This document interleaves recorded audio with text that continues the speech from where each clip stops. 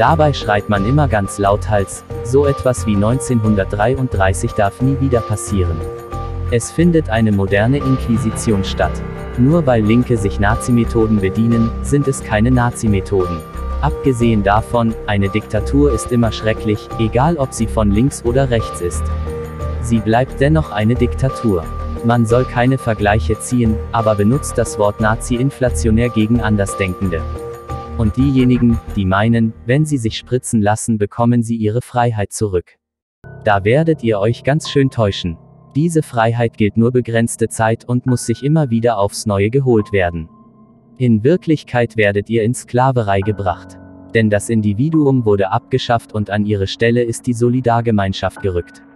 Solidarität bedeutet nichts anderes wie Kollektivismus. Es wird dir ein schlechtes Gewissen gemacht, du seist verantwortungslos und